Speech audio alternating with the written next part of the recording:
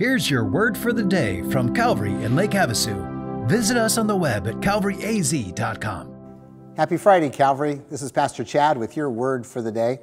Hey, we're in 2 Samuel 23, and uh, we're talking about David. Still, you know, David was the greatest king of Israel. He was the ancestor of Jesus.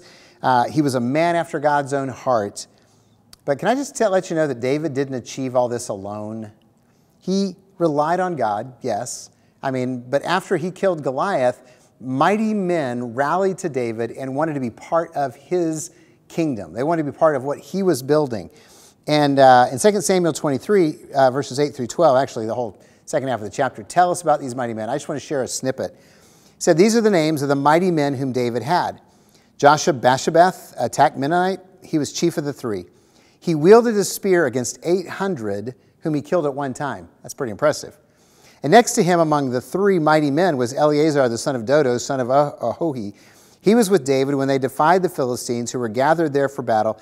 And the men of Israel withdrew, and he rose and struck down the Philistines until his hand was weary, and his hand clung to the sword, literally got cramped onto the sword. Uh, and the Lord brought about a great victory that day, and the men returned after him only to strip the slain. And next to him was Shammah, the son of Agee the Hararite the Philistines gathered together at Lehi, where there was a plot of ground full of lentils, and the men fled from the Philistines. But he took his stand in the midst of the plot and defended it and struck down the Philistines, and the Lord worked a great victory. Now, the, the passage goes on to list uh, the names of 30 more guys who are great men of God who stood with David.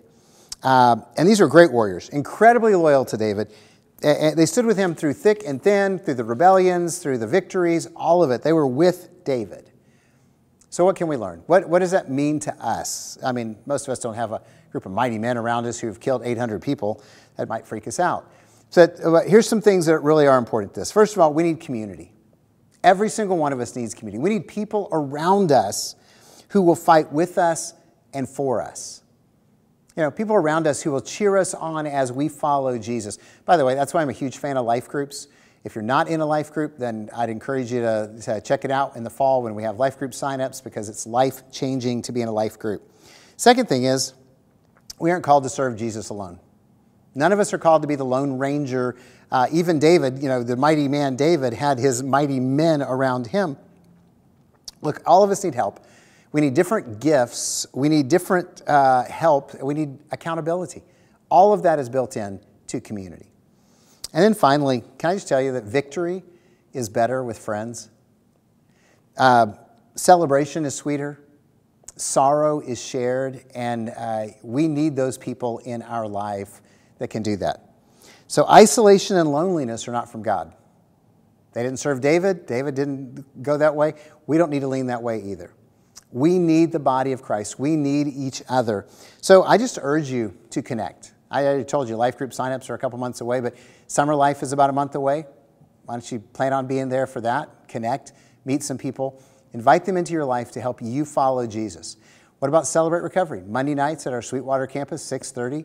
You can come and connect with people who are seeking God and trying to get their lives better than they are right now.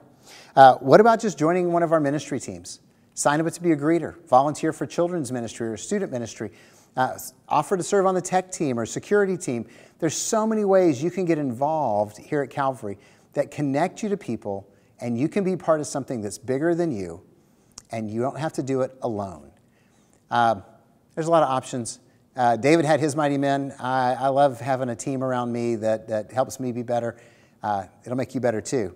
So I hope that blesses you, and I hope you'll take action to connect. Have a great day.